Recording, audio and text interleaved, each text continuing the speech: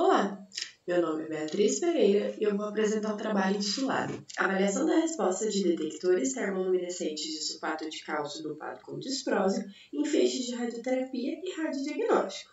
Os autores desse trabalho somos eu, a Cássia Eugênia Barros, a professora Amanda Brevin de Oliveira, o professor Antônio Arisa Gonçalves Júnior, a professora Ana Paula Perini e o professor Lúcio Pereira Neves. Radiação ionizante é toda aquela com energia capaz de ionizar os átomos, ou seja, retirar deles elétrons. Esse tipo de radiação é utilizado em diagnósticos e terapias da área médica, mas devido ao seu poder de ionização, é necessária a avaliação dos riscos, já que os benefícios devem ser maiores que os malefícios. Portanto, é necessária a verificação do desempenho e o controle de parâmetros dos equipamentos e a estimativa de dose, que pacientes e indivíduos ocupacionalmente expostos vão receber. Para isso, existe a dosimetria. Entre os tipos de dosimetria, nós temos a dosimetria termoluminescente. Os materiais termoluminescentes são cristais que possuem impurezas. Esses cristais apresentam três bandas: a banda de valência, a banda proibida e a banda de condução. Os elétrons estão, inicialmente, na banda de valência, mas ao receber energia, neste caso da radiação, eles serão levados à banda de condução. Naturalmente, eles voltariam à banda de valência, mas as impurezas dos cristais criam armadilhas na banda proibida, prendendo esses elétrons. Eles só serão liberados dessas armadilhas ao receber um tipo de estimulação. No caso da dosimetria termoluminescente, essa estimulação é térmica e ao serem liberados e voltarem à camada de valência, eles emitirão fótons de luz.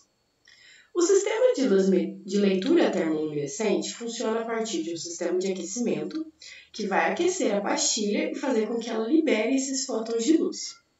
A luz será recebida por um filtro óptico e passará por um tubo fotomultiplicador.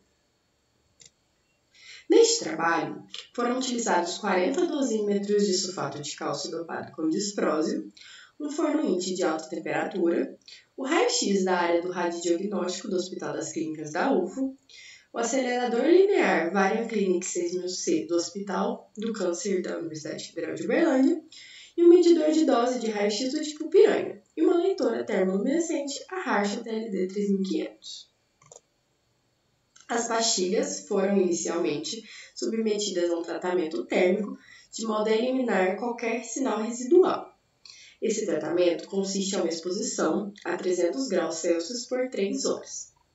Depois, elas foram resfriadas em temperatura ambiente e levadas para a leitura pré-irradiação. Após a leitura, elas foram divididas em oito grupos de cinco pastilhas cada e levadas à irradiação primeiro no radiodiagnóstico depois foram lidas após a irradiação, e esse processo foi repetido para a irradiação no acelerador linear. Nós realizamos a análise da resposta termoluminescente em função da dose e calculamos a reprodutibilidade dos dosímetros a partir da equação 1 e a sensibilidade do material termoluminescente a partir da equação 2 tabela 1, é possível ver as configurações do equipamento de raio-x utilizado para a irradiação das pastilhas do radiodiagnóstico, obtidos com o Piranha. Nós temos a tensão do tubo, que foi aumentada gradativamente, e o tempo de exposição, a dose, a taxa de dose, a camada semi-redutora e a filtração total. Nas figuras 1 e 2, nós temos o gráfico de resposta termoluminescente em função da dose pela qual os dosímetros foram expostos, no diagnóstico e na radioterapia, respectivamente. Na tabela 2 e 3, nós temos a reprodutibilidade dos grupos de dosímetros irradiados no radiodiagnóstico e na radioterapia, respectivamente. Possível perceber nos gráficos que o comportamento das pastilhas foi praticamente linear para doses baixas, até 5 grays. Entretanto, para a dose de 10 grays houve uma grande variação. A reprodutibilidade dos dosímetros ficou entre 0,9% e 9,8%. Dos 16 grupos, 12 deles apresentaram reprodutibilidade abaixo de 5%, que é o valor recomendado na literatura, sendo apenas 4 grupos acima desse limite.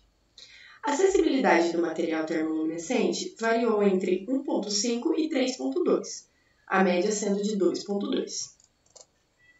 É possível concluir que a curva dose-resposta apresentou o comportamento esperado, tanto no radiodiagnóstico quanto na radioterapia, apresentando variação apenas para a dose mais alta de 10 grays.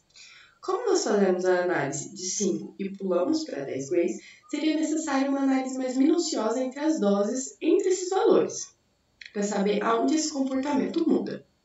A reprodutibilidade dos dosímetros em alguns grupos foi acima do valor recomendado, mas fatores como a taxa de resfriamento, que no nosso caso não foi controlada, e o tempo de uso do dosímetro, que faz com que a reprodutibilidade diminua cerca de 2% a cada 10 meses de dose recebida, podem interferir na reprodutibilidade.